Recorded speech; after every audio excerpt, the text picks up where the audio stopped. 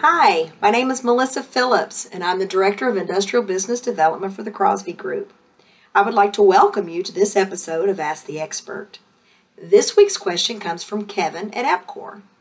Kevin asked the question Grade 70 chain is ideal for cargo securement. The grade 80 and grade 100 chain can be used for cargo securement as well.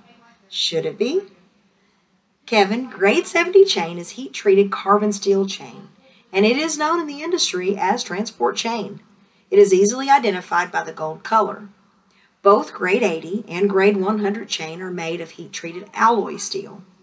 Although both grade 80 and 100 are most commonly used in overhead lifting applications, these grades of chain are normally allowed in transport chain systems as well. Always remember that grade 80 and grade 100 chain do have higher strength properties than grade 70 transport chain. In addition, there are various connection points and products, such as the Crosby load binder, that are, that are also incorporated into the tie down system. All products and connection points will have specific working load limits.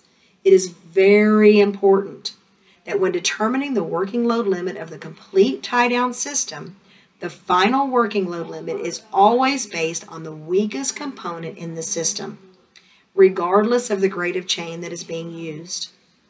This detailed information can be found in the working load limit table as published by the Commercial Vehicle Safety Alliance, also known as CVSA. Kevin, thank you so much for your great question, and to everyone that has tuned in this week. Please stay safe until we see you next week on the next episode of Ask the Expert.